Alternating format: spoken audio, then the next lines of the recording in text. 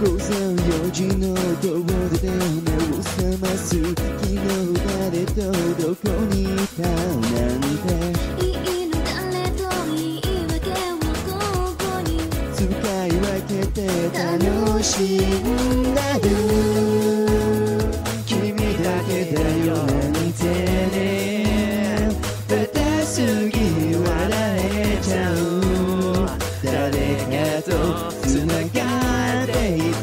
だけ。苦くてほっとなスパイス君だけに今あげるよ夢中にさせる僕のテイストを体中で感じて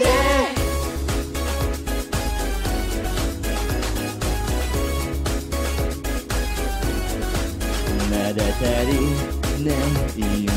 のよ教えてるよ君のスパイスで。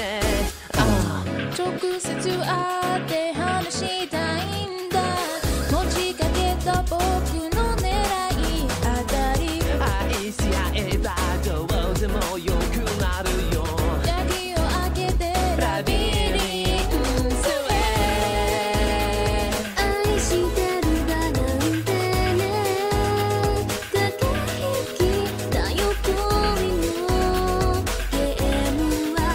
落ちた方が負けでしょう苦くて甘いシロップ僕だけに舐めさせてよ重ねた肌と君のテイストで僕のことを満たして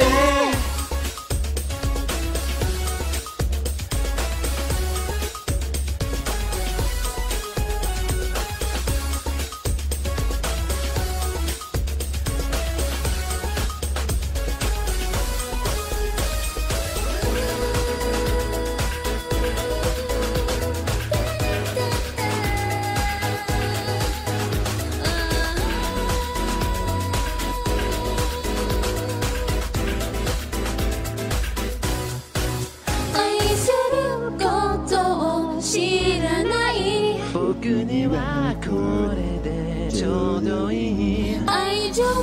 なんで必要としない恋色の方が楽でしょうね僕のス